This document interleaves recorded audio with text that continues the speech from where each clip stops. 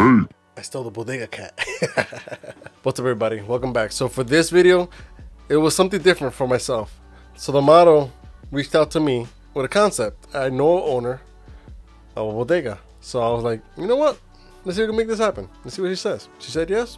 Boom. So it was pretty much a lifestyle uh, editorial. I really don't know what to call this. I never shot a bodega before, so this is the first time for that. Comment down below what we call this. I think it's like a lifestyle, but I don't know. I got some more content coming out soon, so like, subscribe, all that good stuff, and comment down below what you want to see next or any concepts. You know, it's winter. I need concepts. I'm gonna be indoors. I'm gonna be stuck.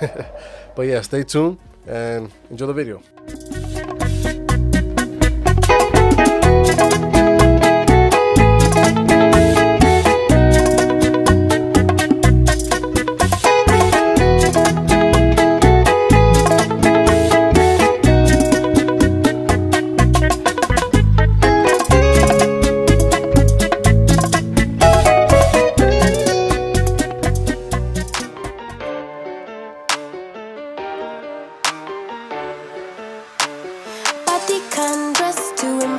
No stress, though they're waiting. I keep them waiting. Makeup on fleek, high heels, ripped jeans, they're all waiting. I'm on my way. Looking in the mirror at myself like who that?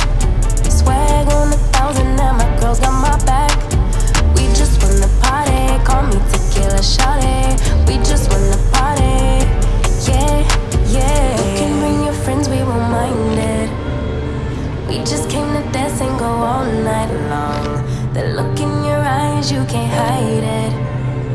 Ooh, baby, I know I turn you on.